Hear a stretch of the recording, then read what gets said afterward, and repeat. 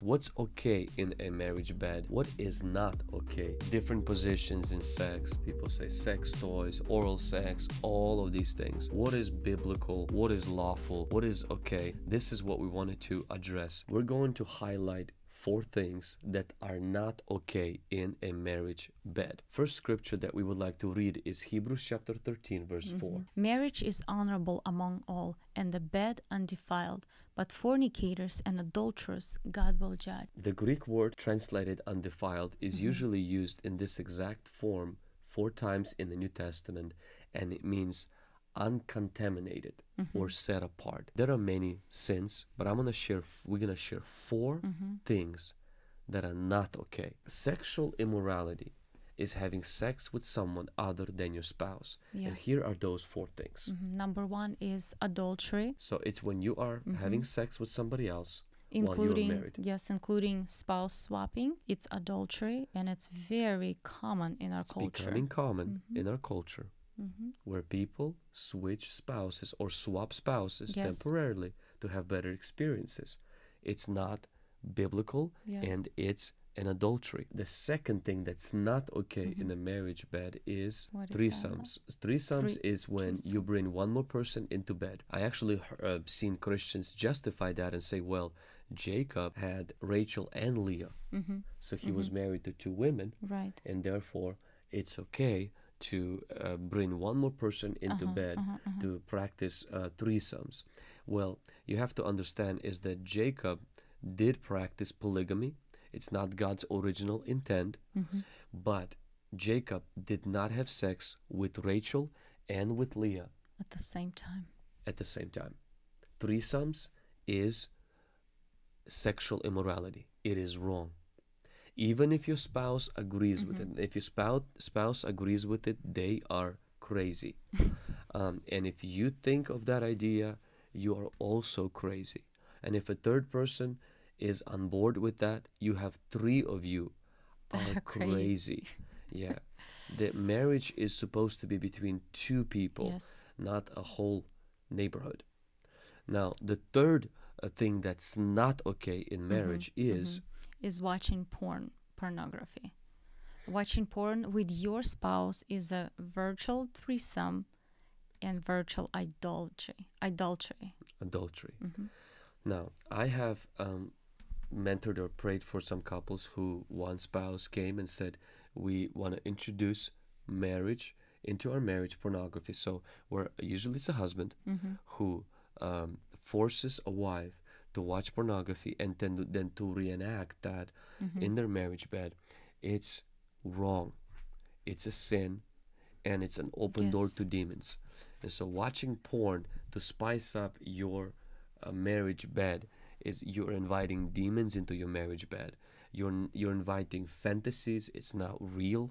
Um, and we have I have an interview with an ex porn star. Yeah. You can watch it, and this is not this is not how real sex is. It's, it's a perf- these are called performers. These are not spouses. Okay, and so and it takes you know days uh, to make a 40 minute Yeah. video, and there's a lot of editing that's that's involved there. It's it, it's it's not It's not how real. yeah. marriage is it's made it's made for entertainment godless entertainment but it's not meant to be an example Mm-hmm. and so and if you take that as an example for your marriage you just, it's pretty much a sure way to destroy your marriage it's literally trying to fix a porn problem by reenacting pornography Mm-hmm. in marriage bed it's wrong the third the fourth Fourth one. wrong thing in a marriage bed is Rape. hmm All non consensual sex. consensual consensual sex is rape, whether in marriage or not. And I mentioned 1st Mm-hmm. Corinthians chapter 7 verses 1 through 5 deals with giving satisfaction in sex, Mm-hmm. not demanding it or forcing a spouse Yes. to have sex with you. The Bible does not give that permission to Mm-hmm. demand sex. Yeah. Now, when it comes to things like different positions in sex, people say sex toys, oral sex, all of these things. What is biblical? What is lawful? What is okay? This is what we wanted to address. We want to pretty much give you three questions to ask before, if it's not Yeah. adultery, Mm-hmm. if it's not adultery, if it's not bringing another person or bringing a pornography or it's not rape where you're forcing somebody Yeah. what about some other sexual expressions in bed and so we want to ask you to ask three questions if you're thinking well should we can we three questions to ask question number one Is it prohibited in the scripture? hmm If it's not, assume it's permitted. If it's not prohibited in the scripture and it's between you and your spouse, Mm-hmm. um, you can assume in a married bed it is permitted. Mm-hmm. So if it's not adultery, if you're not bringing some sexual fantasies um, into a marriage bed, if you're not forcing your spouse, and if you're not bringing somebody else, you can assume it's pretty much permitted. First Corinthians Mhm. chapter six, verse twelve. It says, All things are lawful for me, but all things are not helpful.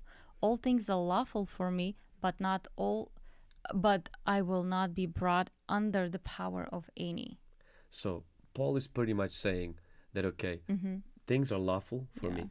Is it lawful? So Mhm. that's what the first question we ask. Yeah, yeah, is the Bible Mm-hmm. against it? Is the Bible very clearly against it? Mm-hmm. If the Bible is not in the area of marital sexual intimacy, Mm-hmm. we have freedom.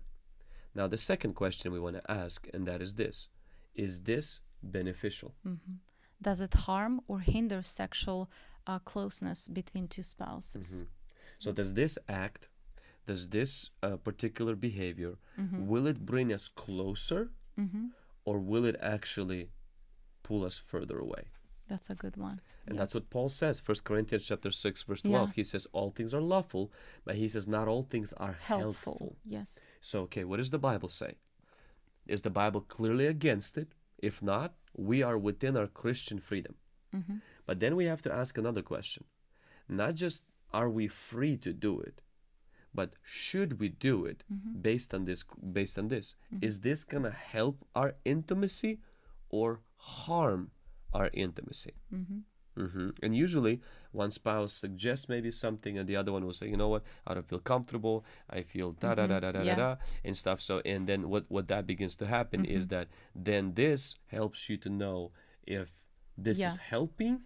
Yeah, and and if one spouse may say, "Oh, it's gonna help me in our intimacy," and another spouse will say, "Oh, it's not gonna help me for sure," that means it's not going to be helpful For the marriage. for the marriage itself, and this is where we are shooting at for Yeah. both people to come closer, not just for one person to feel like, "Oh, yeah, it's gonna help me." and then third one, and that's the biggest one. hmm And is there a mutual Consent. consent? hmm So, what does the Bible say? Is it lawful? Is it beneficial? And thirdly, is there a mutual consent? Is the spouse being forced, coerced into what he or she is not comfortable with hmm Or manipulated to. or manipulated into? yeah. 1 Corinthians chapter Mhm. 7 verse 5. Do not deprive one another except with consent for a time, that you may give yourselves uh, to fasting and prayer, and come together again, so that Satan does not tempt you because you lack self control. Yeah, so we see pretty much here that the Bible says that there needs to be consent. Yeah. even to withdraw sexually, Mhm. there must be consent.